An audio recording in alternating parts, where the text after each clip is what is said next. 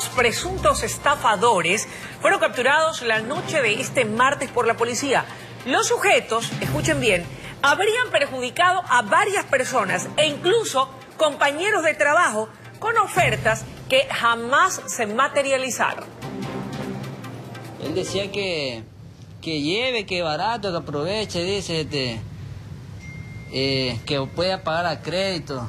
Barato y a crédito. Con esas palabras, estos dos sujetos habrían envuelto a varias personas en sus redes para estafarlas al ofrecerles electrodomésticos a bajo costo. Él llama pues a mi número y me dice, por si acaso no quiere sacar este electrodoméstico, acá yo trabajo con un ingeniero, hermano es chévere, dice, te baja de precio, a mitad de precio, dice. Ya, yo, yo me animé.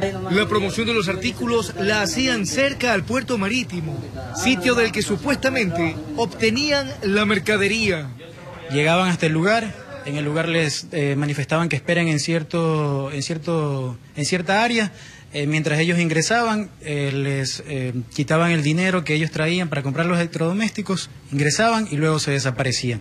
La trama se les vino abajo cuando este hombre se vio burlado y no quiso esperar más por su pedido, por lo que denunció el caso a las autoridades. Es amigo, conocido, pero yo de verdad pensé nunca me iba a dar el man en la espalda, porque éramos compañeros, él, era este buen dato.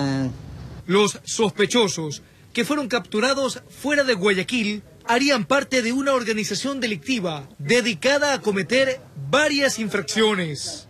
Hay denuncias anteriores eh, contra estos ciudadanos e inclusive eh, eh, estamos por verificar, creo que también participaron en un asalto y robo a un compañero policía. Informó Ítalo Ruiz.